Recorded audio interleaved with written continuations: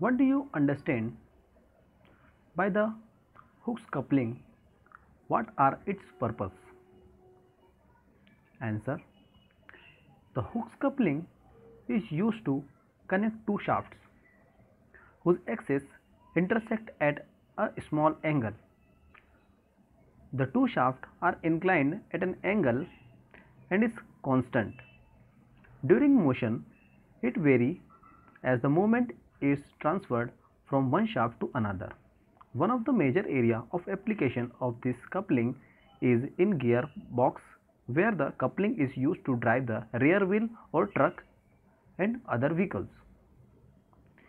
In such uses, scenario of two coupling are used each other at the two end of the coupling shaft.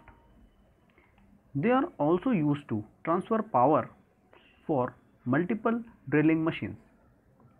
The Hooke's coupling is also known as the universal coupling. The torque transmitted by the shaft is given by